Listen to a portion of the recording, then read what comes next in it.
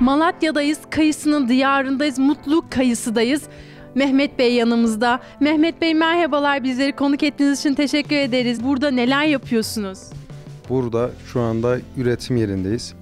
Üretimimizde kayısı çeşitlerimiz mevcut tabi gördüğünüz gibi. Bunlar istege bağlı. Siparişe göre 5 kiloluk, 10 kiloluk, 20 kiloluk ve gramajlar şeklinde ürünlerimizi sergiliyoruz. Buradaki ilk olarak ilk hedefimiz gene öncelikle kaliteli bir hizmet için temiz ve titiz çalışmadan yanayız bizler.